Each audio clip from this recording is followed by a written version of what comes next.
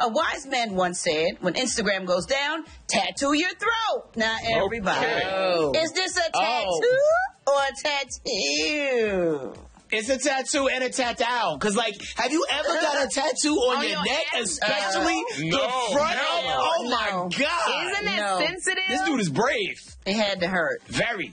is Adam Levine like completely desensitized to pain because his entire body is tattooed? The neck? Oh my God, I couldn't imagine that. And your testicles, that's tender too. Like No. you can't, you can't tattoo your testicles. Who got a tattoo on their testicles?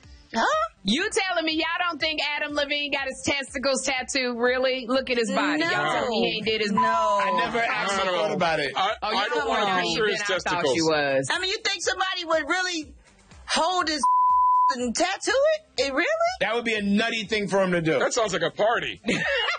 That sounds like a happy ending. Gary, do you do you think somebody would tattoo Adam Levine's uh, testicles? They would actually hold them Of course they would. I mean, I have my um area tattoo, so when Oh, I damn. a I arrow, went there. so yes. I opened the I opened the door. That's my fault, and I apologize. Yes, you did. that You opened the I'm door. gonna take the L. Yes, you- I'm gonna take the L on that one. Pandora's box it was. Hey, don't forget to hit us up on social media. We're on all these platforms at Dish Nation. We'll see you there.